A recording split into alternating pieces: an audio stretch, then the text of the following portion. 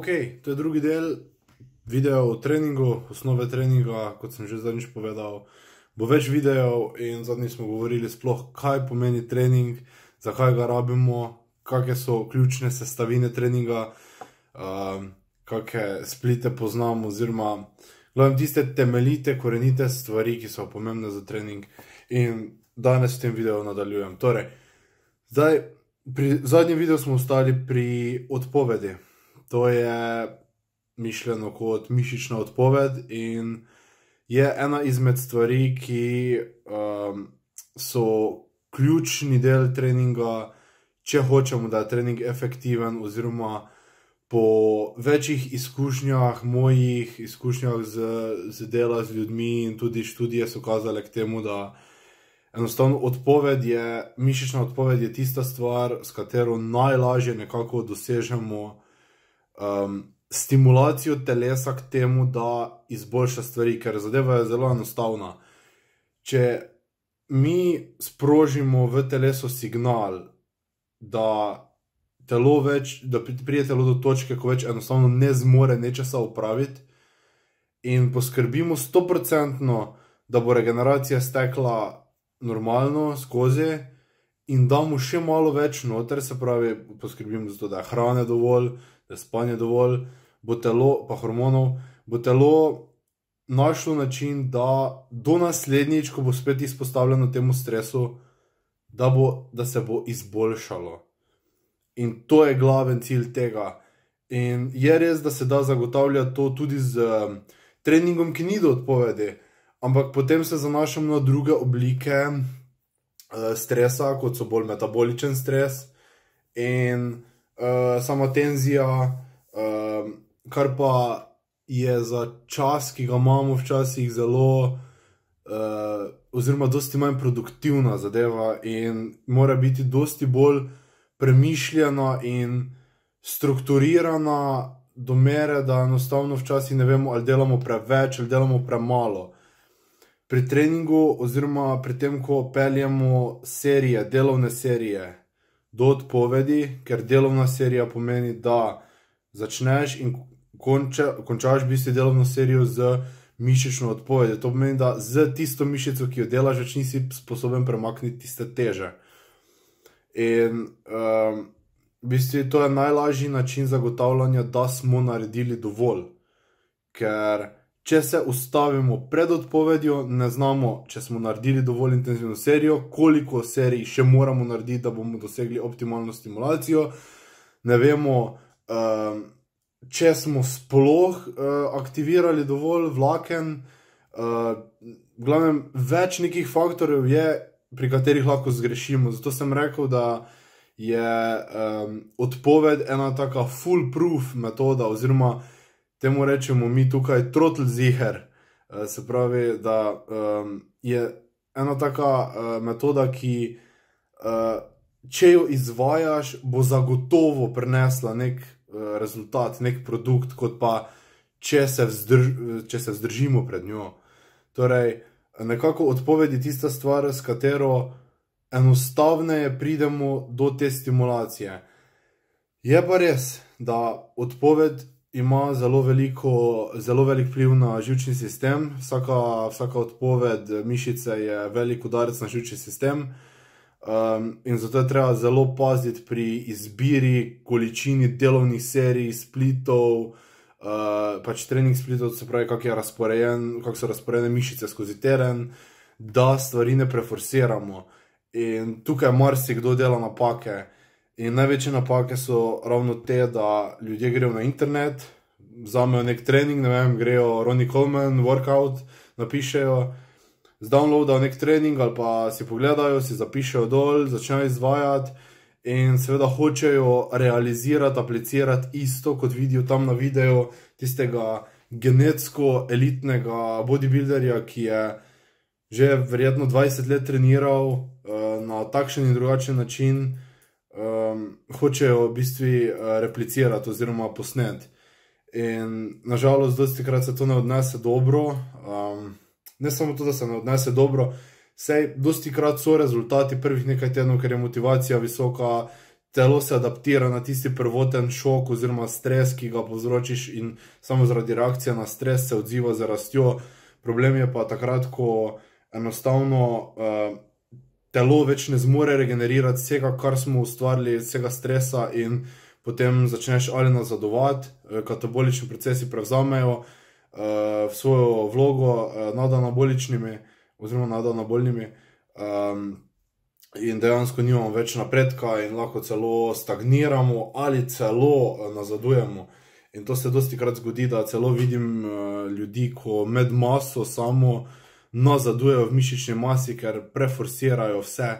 In imamo na eni strani ljudi, ki delajo premalo, ko hodijo se zafrkavati na treninge in ne delajo absolutno nič produktivnega, imamo pa na drugi strani ljudi, ki delajo preveč in potiskajo vse možne meje, brez obzira, da je regeneracija ključen faktor pri tem, da napredujemo. Ok, torej zdaj lahko gremo nazaj na to, kaj samo odpoved pomeni. Vemo, da imamo mišica, ima vlakna, mišična vlakna. Vlakna so različnih kategorij. Zdaj, to je v osnovah je to manj pomembno, da zdaj razlagam točno kak in kaj. Vem, vemo, da imamo različna vlakna, tiste uh, hitra vlakna, počasna vlakna, bela, rdeča, v glavnem to se ve, pa še malo drugače. No? Glavnem, uh, to je dovolj, da vemo. In za samo, samo aktivacijo vlaken, mi najprej aktiviramo en delež vlaken, ki, kako bi rekel, uh, z prvimi ponovitvami v serijo, ko še ni mišica izčrpana, aktiviraš samo tista osnovna vlakna, ki. Um, so v nekem deležu, ampak definitivno niso vsa. In bolj kot pač prehajaš v globlje v serijo, v set, uh, težje je telesu, teže mišica premaguje težo, več mišičnih vlaken se vključuje. In ravno zato, ko prideš blizu odpovedi, je telo oziroma mišica na taki točki, ko začne vključevati vse vlakna, tudi tista, ki niso namenjena toliko za tisto obliko bremena ker mišici manjka resursov, nima več od kje vzeti in takrat bo dala vse od sebe, maksimalno v tistih zadnjih dveh ali eni ponovitvi, ko narediš, da dosežeš to odpoved. Um, oziroma, da doseže, da se v bistvu obrani, oziroma da zmore prenesti breme, ker dejansko uh, odpoved je nezaželen faktor, uh, ki ga narava noče, se pravi, recimo, če padeš iz pečine, pa se uspeš uh, zadržati gor za rob, uh, telo se hoče dvigniti, telo noče, da ti zdaj padeš in da si neuspešen pri dvigu. Ne? In ravno zato je ta adaptacija. Ne? Tokrat si se uspel dvigniti, torej naslednjič je verjetnost, da se boš lažje dvignil in ravno to je ta izboljšava. Ampak mi to umetno stimuliramo z utežmi. No, zdaj, tako sem rekel, tudi vsaka odpoved vpliva na žilčni sistem. Sploh če je to odpoved, ki je izvedena na kompleksnejših vajah, oziroma sestavljenih vajah, compound movements, to so squati, deadlifti, shoulder pressi, bench pressi, itd. Uh, kot pa na neki izolacijski vaji, ker tam na izolacijskih vajah dela izključno samo tista mišica, ki jo hočemo, ali pa manjši delež mišic, in zato um, ni tako obremenitven na žilčni sistem. In zato tudi recovery žilčnega sistema, oziroma regeneracija žilčnega sistema, ni tako uh, problematična, medtem ko pa pri težjih vajah je to ključnega pomena, ker regeneracijo jemljemo stran z vsakim, tako sem zadnjič opisal, jemljemo kot en budžet, ki ga imamo in jemljemo ven. Če imaš regeneracije na voljo za nekih tisoč enot in ti po, en set počepov vzame, ne vem, uh, sto enot, pa moraš paziti, da se ti teh tisoč enot razporedi skozi cel teden za vse mišice enakomerno ali vse pač toliko, koliko rabi vsaka mišica, da, da reagira. Ker ene rabijo manj, druge rabijo več, recimo, kakšne roke rabijo zelo malo. Uh, in tam je tudi stres na čiščenju sistem zelo majhen. Teda moramo si nekako analizirati to kot um, nekaj končnega. Regeneracija ni neskončna, zato ko vidim ljudi, da delajo po 25 delovnih serij, vse do odpovedi, me skoraj zgrabi groza, zato ker toliko serij ni potrebe. Torej, kako se moraš lotiti te zadeve na začetku? Se pravi, Če si izberemo split, upper, lower split, se pravi najbolj preprosti split, delamo zgornji del en dan, delamo spodnji en dan, potem en dan počivamo. Spet zgornji, spodnji počivamo, zgornji, spodnji počivamo. To zberemo tako, da enostavno začnemo pri najmanjšem možnem številu serij, s preprostim poskusom. Narediš dve delovni seriji za mišico, torej dve vaje, ogreješ mišico najprej z majhno težo, počasi proti veliki, vzameš dve vaje, vsaka vaja eno delovno serijo, vsaka delovna serija do absolutne odpovedi. Ko opraviš te dve seriji, se premakneš na naslednjo mišico.